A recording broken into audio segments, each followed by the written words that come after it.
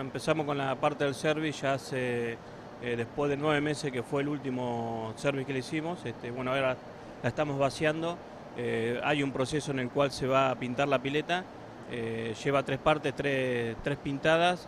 cada pintada lleva siete días secados,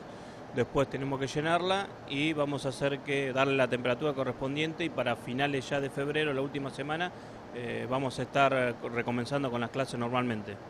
Ya pensando también en la actividad que se viene para este 2015 deportiva, ahora cerrada, como decía vos, se va a abrir la pileta. ¿Y estos trabajos se están realizando solamente en la pileta o también en el polideportivo? Bueno, en todo el polideportivo, lo que estamos en la parte del gimnasio, eh, bueno, después donde ustedes van a colocar las imágenes, donde se está pintando la parte interna,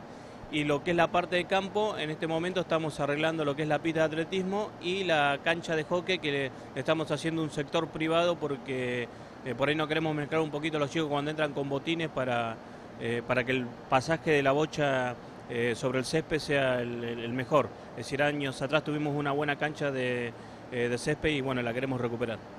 ¿La cancha de hockey qué, qué condiciones va a tener? La, la cancha de hockey eh, se va a cerrar, se va a cerrar una cerca donde solamente va a ser para, para que se pueda hacer esta actividad. Eh, nosotros el año pasado, eh, o, o mejor dicho, hace tres años atrás veníamos con una actividad de hockey donde eh, el espacio era libre eh, para cualquier actividad, ya sea para fútbol eh, femenino, fútbol infantil o fútbol de mayores, para que lo pudieran, eh, pu- pudieran activar y pudieran realizarse, pero lo que estamos buscando es que simplemente en ese sector se haga esa actividad. Y tenemos programados otros sectores para las, las demás. Siempre difundiendo el deporte en esta localidad, que también va a contar con atletas eh, intentando lograr una nueva buena participación en el mundial que se viene. Sí, sí, ahora lo que es en verano estamos haciendo la pretemporada de lo que es el atletismo. Eh, tenemos chicas que de, nivel nacional e internacional eh,